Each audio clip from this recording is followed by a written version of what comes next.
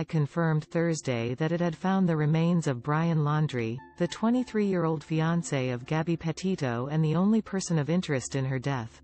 In a statement, the FBI's Denver field office said that a comparison of dental records confirmed that the human remains found at Carlton Reserve and the Myakkahatchee Creek Environmental Park Wednesday were those of Steven Bertolino, an attorney for Laundrie's family, said that police came to their North Port, Florida, home late Thursday afternoon to notify the remains, as well as a backpack and notebook belonging to Laundrie, were found Wednesday along a trail in Myakkahatchee Creek Environmental Park.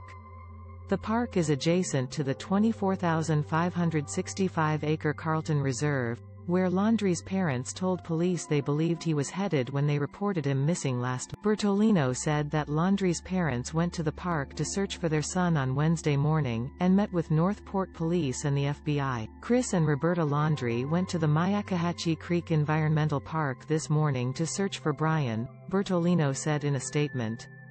After a brief search of a trail that Brian frequented, some articles belonging to Brian, the remains were found in an area that was until recently was underwater, the FBI said.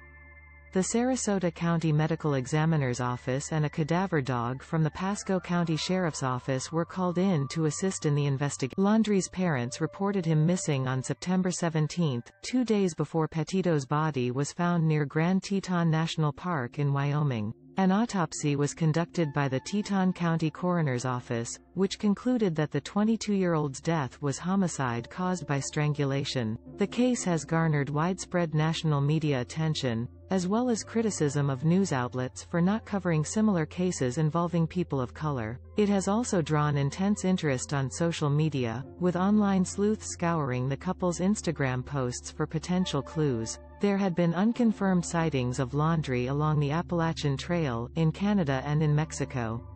TV personalities, including Duane Chapman, known as Dog the Bounty Hunter, and longtime, America's Most Wanted, host John Walsh, had joined in the Petito and Laundrie had spent months visiting national parks in their converted 2012 Ford Transit van, documenting the trip on social media. The couple was stopped August 12 by police in Moab, Utah, after they had a physical altercation, but no charges were filed. On September 1, Laundrie returned to the couple's North Port home, where they lived with Laundrie's parents, without her.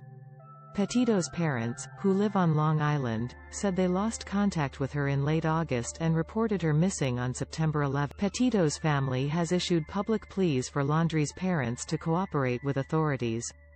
Police say the Laundries initially did not share any helpful details in the search for Petito or in an interview with 60 Minutes Australia that aired this past weekend. Petito's mother, Nicole Schmidt, said their silence speaks volumes. Additional reporting by Christopher